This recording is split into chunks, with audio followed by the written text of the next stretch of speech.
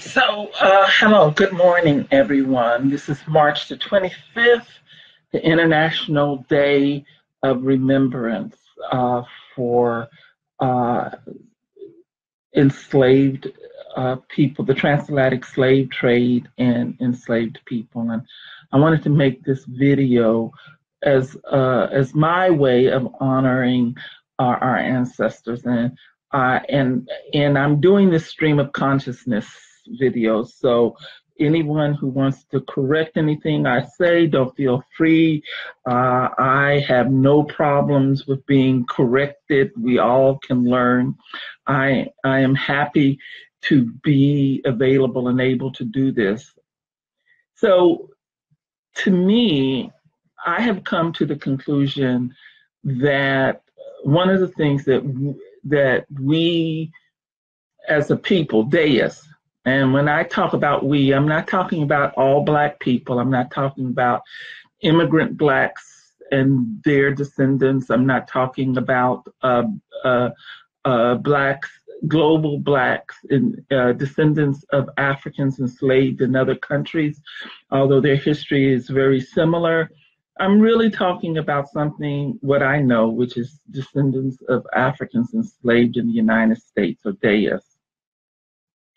And what I know is, is that we are a wonderful people. Our ancestors were ripped off of their continent and placed into a form of slavery that is unlike anything that was in the, the rest of the continents. Uh, if you go and visit uh, uh, other uh, countries that had slavery in South America, Brazil, uh, Cuba, this one of the things that strikes me is how their form of slavery, awful as it is, I'm not minimizing it, but one of the things they didn't do was they didn't wipe out all indicia of the African uh, culture and history. We, I have come to the conclusion that we as a people are a are a indigenous to the United States. That we have ancestry that is from Africa, but we were formed here and we should take ownership of that because our people built this country. Our people, the wealth of this country was made on the millions of thousands of people who who uh, was in slavery and died in slavery and never was able to accumulate wealth, to accumulate anything to pass down through to us be able to do. And yet we excel. We ex- at every stage we have excelled. We have had we, we complain and, and and that's okay. Um, you know, humans it's human nature to complain and it's human nature to think that your group is worse than any group ever. But the truth is, Deus has always been at the forefront of every war, at the forefront of every movement, at the forefront of leading people in the United States to a true understanding of human rights and civil rights. And without us, not only would this country not have the wealth that it has, it wouldn't have the stand, it would not even begin to approach the standing in human rights that as bad as it is, it's better than it would be if we were not a part of this country because we continuously remind everyone through our work and our achievements that we that our ancestors gave to this country built this country and was and and had their lives and their their work stolen. And we should not apologize for where we are because history says that every single time we try to make a giant step forward, and we do. We, we our ancestors worked to get us out of slavery, and instead of paying the the the the descendants of slave, enslaved people reparations they paid the landowners for the loss of their slaves basically saying yeah you, you lost some property and we're going to pay you for your loss of property uh, but you in descendants of enslaved people you didn't lose property when you were enslaved for centuries. That was as it should have been. And so we're not giving you any reparations.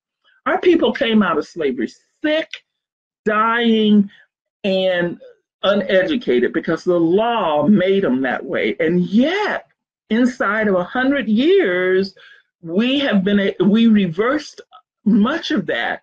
Even and when people saw when white people saw the kind of efforts we were going to make for the improvement of race, they start passing laws to um, to put the, to to stop it. So you have all the Jim Crow laws. I grew up in Jim Crow.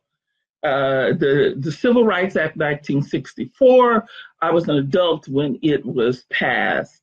I was a first generation civil rights beneficiary and I am blessed by it, but I also know it was very limited because by the 1980s, so what during the 70s and during the 70s, late 60s and 70s, as we begin to really grow and push forth, people begin to, the whites begin to say, oh, we can't have this, but we can't make it explicitly about being black. And so uh, out of that came uh, the 1980 uh, laws that the Democrats and the Republicans put in place, the war on drugs, the introduction of cocaine into our community, to destroy our efforts to rebuild ourselves after Jim Crow.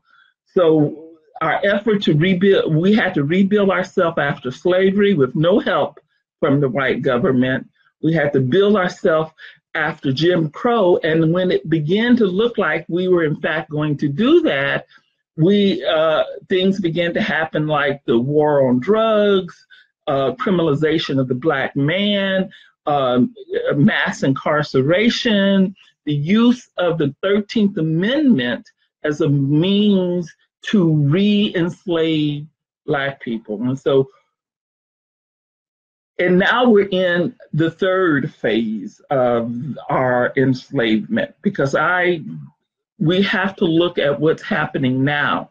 The three parts of what's happening now is uh, mass incarceration, enslaved people uh, under the 13th Amendment uh, in prisons, and the taking away of all the rights of enslaved people. So we have a large percentage of our people who are enslaved.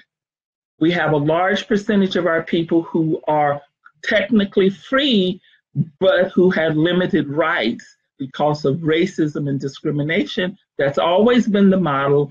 And now we've been, and they've reintroduced terrorism, uh, uh, taking the lynching and transforming it to police killing and uh, uh, stand your ground laws that will allow whites uh, to shoot black people that they're scared of, which of course will be everyone.